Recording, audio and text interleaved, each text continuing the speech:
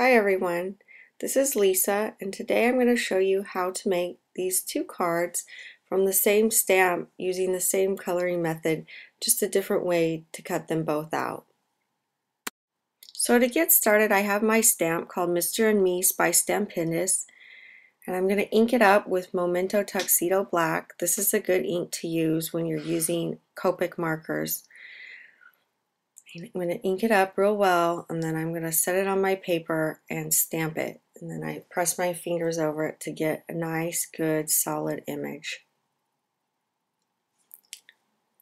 Then once the image is complete I'll start coloring the image and I'm going to speed this up here so you guys don't have to watch me color the whole thing slowly. It took me quite a while. I wish I could color this fast. But anyhow, I'll write in the bottom the links of the different Copic colors I used.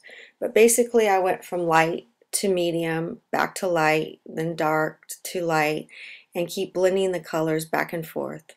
For the skin tones I used E50, E51, and E53. And then for the light pink I also have some Prismacolor alcohol inks and I used PB133 and um, for the cheeks, I used the Copic R22. Then for the wedding dress, since things aren't just plain white, they have shadows and whatnot, and to add some depth to the dress, I used C1 and W00 to add some highlights and shading to the wedding dress. So you can see I kind of added it along the lines of the stamp set. It kind of gives you an idea of where things would be darker and lighter.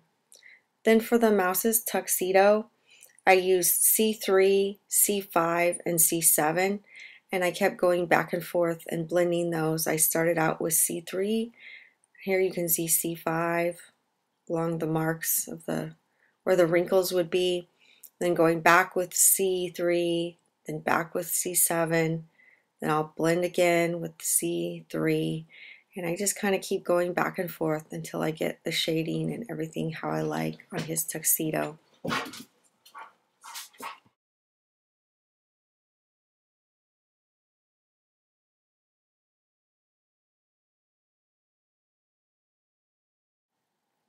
Then you can see I go back in with the colorless blender and kind of clean up the edges a little bit. Now for the flowers, I used R22 and R24 and then for the stems, I use BG75. Now I'm going to cut out my background about a quarter inch from each side so that you can see a little bit of my card base. Then I'm going to attach um,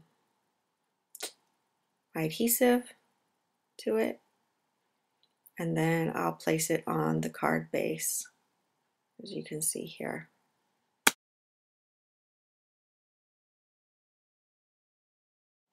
And once the card base is down, I'll get out my scissors and I'm going to fussy cut around the image.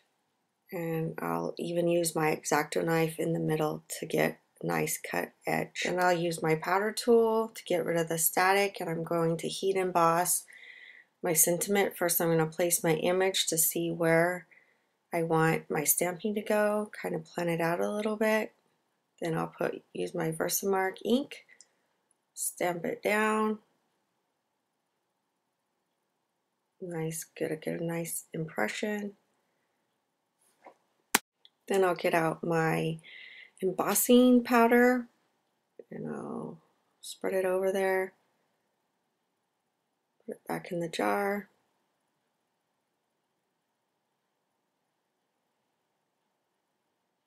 I'll get out my heat tool, heat it up, and emboss it. And you can see there's a nice gold image there. And I'll put some um, pop dots and stick the image on top of the card. Card's all ready to go. Once I got this card done, I decided that the image wasn't very good. You couldn't see it very well. And so I decided to uh, change it so that you could see it better. So I'm going to cut a strip of green paper out and I'm going to emboss the same sentiment and put it over that so that you can see it better.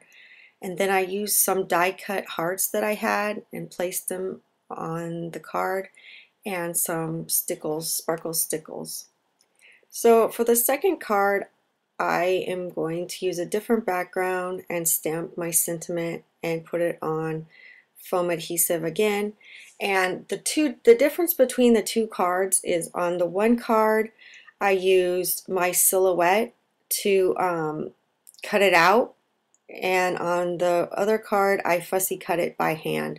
So the left card is cut out with the silhouette and the right card is cut out by hand. I hope you enjoyed this video and if you have any questions or comments please leave them below. Please feel free to subscribe also by pushing the button below. I'll try to load a video every week hopefully on Mondays and please also feel free to view my blog scrappyrx.blogspot.com. Thank you.